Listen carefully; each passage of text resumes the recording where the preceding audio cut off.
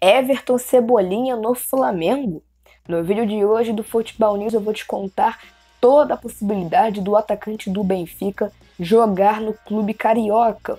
Eu também vou trazer para vocês a possibilidade de Alex Teixeira, que hoje em dia está jogando no futebol turco, vou é, jogar no Palmeiras. Eu também falo sobre Jorge Jesus, que já acertou com o Fenerbahçe e que está querendo muitos jogadores que atuam aqui no Brasil. Além disso, vou te falar muito mais assuntos.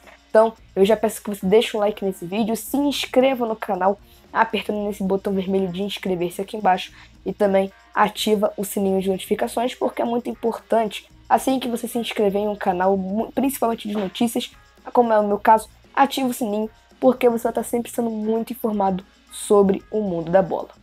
Beleza, galera? Bom, primeiramente eu quero começar esse vídeo falando sobre um amistoso que a seleção brasileira teve nessa quinta-feira. É, foi contra a Coreia do Sul, 8 horas da manhã o jogo, e o Brasil ganhou de 5 a 1 da Coreia do Sul. O Brasil jogou muito bem, conseguiu fazer uma partida muito boa, com destaques para Neymar, que marcou dois gols, Alexandro, lateral que participou de três gols, né? Teve participação direta. Quero também dar destaque a Gabriel Jesus, que marcou um gol depois de três anos consecutivos sem marcar um gol pela seleção brasileira. O último gol que ele havia marcado foi lá em 2019, é, contra o Peru, e depois daquele jogo ele nunca mais marcou pela seleção. Foram 19 jogos sem marcar, né? 20, 20 jogos, para ser mais específico. 20 jogos sem marcar, finalmente ele marcou é, para a seleção brasileira depois de três anos. O Brasil venceu por 5 a 1 né, gols de Richarlison aos 7 minutos de jogo. Depois, aos 31 minutos, o Wei, Wei, Wei Ju, é, da Coreia do Sul empatou os 31 e depois o Brasil deslanchou. Neymar fez um gol de pênalti aos 42. No início do segundo tempo, aos 57, Neymar fez mais um de pênalti. Coutinho, depois que entrou no lugar do Neymar, fez um gol. E aí o Gabriel Jesus, para fechar a conta, fez mais um. É, o Brasil vai ter próximos amistosos nos próximos dias, né, na próxima semana, para também o Tite fazer umas escolhas ali, né, para conseguir montar o time ideal para a Copa do Mundo desse ano.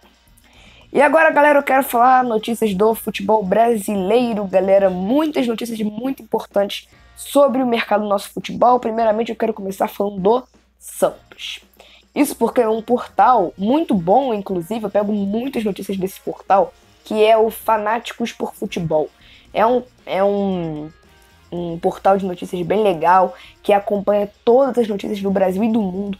E eu gosto muito das notícias que eles trazem e eu gosto muito de, eh, de compartilhar, compartilhar essas notícias com vocês aqui nos meus vídeos. E o Fanáticos do Futebol apurou que o atacante Zahavi, que estava no PSV é, eh, da Holanda, aceitou uma proposta do Botafogo e deve ser anunciado até o final da próxima semana como um atacante experiente que era muito esperado pelo John Textor. Inclusive, galera, o próprio atacante havia contado em uma entrevista a um podcast que ele havia conversado com o Paulo Souza, técnico do Flamengo, para saber mais sobre o Botafogo aqui no Brasil. Ele, o, no caso o Zahavi e o Paulo Souza já foram é, já trabalharam juntos no Maccabi Tel Aviv de Israel. E o Zahavi é, né, falou com o Paulo Souza, né, isso foi o que o próprio Zahavi contou, que o atacante conversou com o Paulo Souza para saber mais sobre o Botafogo, ter mais notícias sobre o clube do Rio de Janeiro, já que o Paulo Souza trabalha no Flamengo, né, né tá no mesmo futebol do estadual.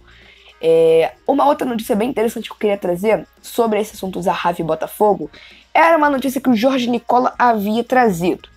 O Jorge Nicola disse que caso a contratação é, seja confirmada com esse contrato né, de 4 milhões de euros por temporada, o atacante israelense ter, terá um salário superior ao de Gabigol no Flamengo. Gabigol que recebe ali meio milhão, meio, na verdade, para ser mais específico, 1 milhão e 600 mil reais por mês no Flamengo. E segundo Nicola, o Zahavi poderia ganhar muito mais do que isso, jogando com as cores alvinegras.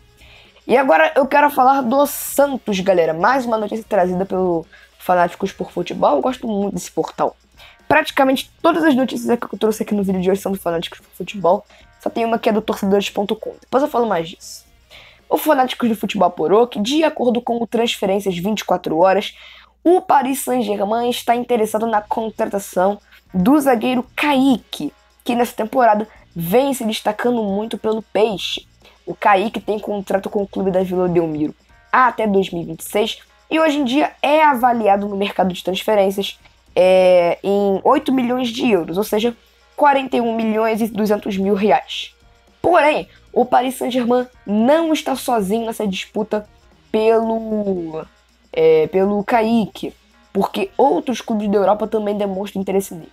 Como, por exemplo, é, Arsenal, Porto, Manchester United e Barcelona demonstram interesse no jovem, é, ou melhor, no jovem zagueiro do Santos, que vem jogando muito bem é, com a camisa do Peixe nessa temporada e consequentemente, e, é, ele vem despertando o interesse de outros clubes do futebol europeu. Até porque ele é, uma, é, um, é um, jovem, tem muito futuro pela frente, é, tem menos de 20 anos de idade e vem se destacando pelo, pelo Santos e aí, consequentemente, desperta o interesse de outros clubes europeus. E agora eu quero falar, galera, sobre Igor Rabelo que fica no Atlético Mineiro. Enfim, chegou o final da novela envolvendo a renovação de Igor Rabelo e Atlético Mineiro. O Igor Rabelo renovou com a equipe de Minas Gerais e com essa renovação o Atlético Mineiro rachaça qualquer possibilidade do jogador pintar no São Paulo em 2023. O Igor Rabelo estava sendo muito especulado para jogar no São Paulo na, é, no ano que vem, mas agora que ele renovou com o Galo, isso não vai acontecer. Quero dar mais detalhes desse negócio. O Torcedores.com informou que o Igor Rabelo renovou com o Galo até 2025 é, e ainda segundo a reportagem, eles apuraram que o Igor Rabelo receberá 280 mil reais líquidos por mês, isso como salário. O valor ainda está baixo, né, comparado ao que os atuais zagueiros do Atlético Mineiro recebem, como o Godin, Júnior Alonso e Hever. Godin recebe um milhão de reais por mês Júnior Alonso 480 mil reais por mês e o Hever 360 mil. Igor Rabelo vai receber 280 mil reais por mês. Ele queria receber o que recebeu ali Nathan Silva, é, mas isso não aconteceu. Porém, é, ele, ele aceitou né, as propostas do Atlético Mineiro e mesmo assim renovou com o Galo. Além de um tempo de contrato e um vínculo, é, na verdade, um tempo de contrato e um salário é, um, mais alto, o Atlético Mineiro também estabeleceu metas de produtividade no contrato do Igor Rabelo para incorporar o contrato. Segundo torcedores.com, é, o acordo prevê bonificações por jogos disputados, gols marcados e títulos conquistados ao longo do compromisso do Igor Rabelo com o Galo, ou seja, até 2025. O Atlético Mineiro, por fim, também aumentou a multa rescisória. Agora para clubes europeus, a multa rescisória do Igor Rabelo é de 12 milhões de euros, ou seja, 61 milhões e meio de reais na cotação atual. Isso para clubes do, do exterior, porque para clubes in, é, in, internos, ou seja, para clubes do Brasil, a multa é muito maior. Se um clube quiser tirar o Igor Rabelo do Atlético Mineiro antes que seu contrato termine, esse, clube, esse tal clube vai ter que pagar 20 milhões de euros ou 102 milhões e meio de reais. Beleza, galera? Você queria o Igor Rabelo no seu time? Bom, deixe seu comentário aqui embaixo e deixe sua opinião. E agora, galera, eu quero falar sobre o Fenerbahçe. Mais especificamente sobre a limpa que o Jorge Jesus pode fazer em questão de tirar jogadores do futebol brasileiro para levá-los ao futebol europeu. Quem teve nome nessa vez ligado ao Fenerbahçe foi Bruno Henrique, atacante do Flamengo. Isso porque o portal Fener Agents, que é um dos portais responsáveis por cobrir o Fenerbahçe, é, noticiou o interesse do Fenerbahçe no Bruno Henrique e assumiu a equipe recentemente e vem indicando nomes à diretoria. No caso que eu tô falando, é o Jorge Jesus. O Jorge Jesus teria indicado, segundo essa fonte, o nome do Bruno Henrique à diretoria do Fenerbahçe. É, o Jorge Jesus que teria indicado uh, o nome do Bruno Henrique e o treinador assumiu a equipe recentemente e vem indicando alguns nomes brasileiros para a equipe. O Jorge Jesus conhece muito bem Bruno Henrique, porque o JJ treinou o Flamengo em 2019 e 2020, e o Bruno Henrique foi uma das peças mais fundamentais daquele time de 2019 para a conquista de todos os títulos que o Flamengo ganhou. O Bruno Henrique foi muito essencial. O Bruno Henrique foi um dos melhores jogadores daquele elenco do Jorge Jesus ao lado do Arrascaeta, do Gabigol. Todos os jogadores se destacaram, mas o Bruno Henrique foi uma peça muito essencial. É, o Bruno Henrique subiu um patamar muito grande com o Jorge Jesus em 2019, 2020 deu uma decaída, 2021 também, mas em 2022, né? O rendimento não tá igual de 2019, isso é uma, uma verdade. Mas o, o Jorge Jesus conhece muito bem o BH27 e gostaria de contar com ele no Fenerbahçe. Além disso, o Jorge, o Jorge Jesus também vem, é, vem dando nomes para o Fenerbahçe de outros clubes de outros clubes não, de outros é, jogadores aqui do Brasil, galera. É, deixa eu ver aqui, eu anotei. Além de Bruno Henrique, outros, outros nomes bastante badalados no mercado também foram citados pelo JJ, como por exemplo o Ilharão do Flamengo, Gabigol do Flamengo, William do Corinthians e o Marcelo que vai deixar o Real Madrid. Todos esses jogadores foram especulados no Fenerbahçe e o Jorge Jesus quer fazer uma limpa, entre aspas, no Brasil para contar com o, esses jogadores no Fenerbahçe. A mesma coisa aconteceu na época de Benfica. Quando ele estava lá no Benfica, ele chamou muitos jogadores do futebol brasileiro para, para atuarem por lá. Os mais famosos foram de Gilberto, lateral do Fluminense, e Everton Cebolinha, atacante, é o melhor, ex-atacante do Grêmio. Muitos jogadores do Flamengo foram especulados para deixar o Flamengo para jogar no Benfica. E realmente esses jogadores deixaram o Flamengo, mas não para atuar no time português. E agora eu quero falar sobre, né, que a gente tá falando aqui do Everton Cebolinha, eu quero falar sobre Everton Cebolinha no Flamengo.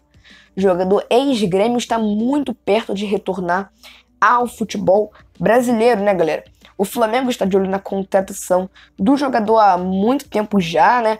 E a mídia local afirma que o Flamengo teria feito uma oferta de 14 milhões de euros para contar com Everton Cebolinha na metade desse ano, porque a janela de transferências vai abrir no dia 18 de julho e a partir daí o Everton Cebolinha poderia ser oficializado como novo reforço do Flamengo.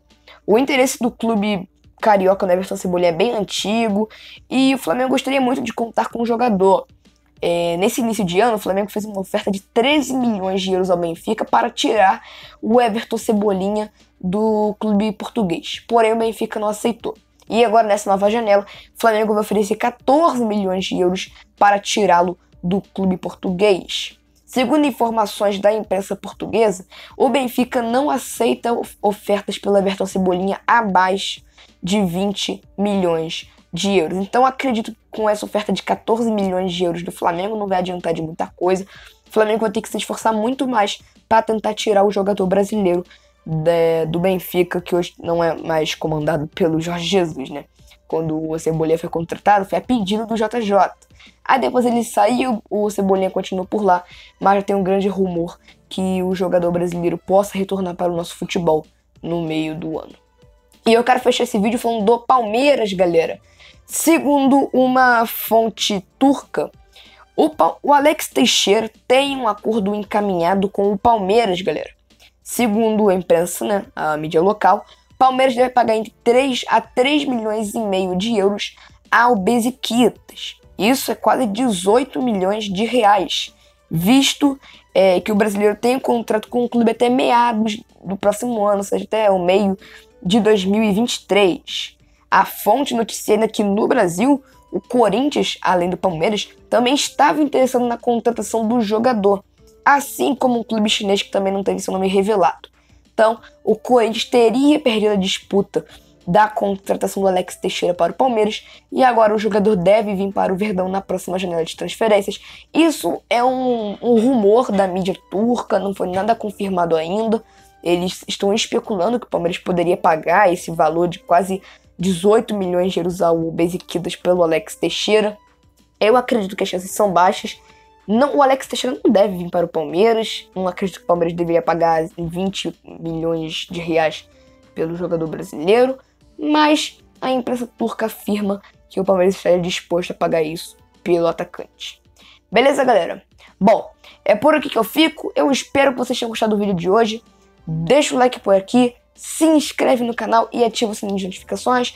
Nos vemos no próximo vídeo. Forte abraço para todos vocês e até a próxima.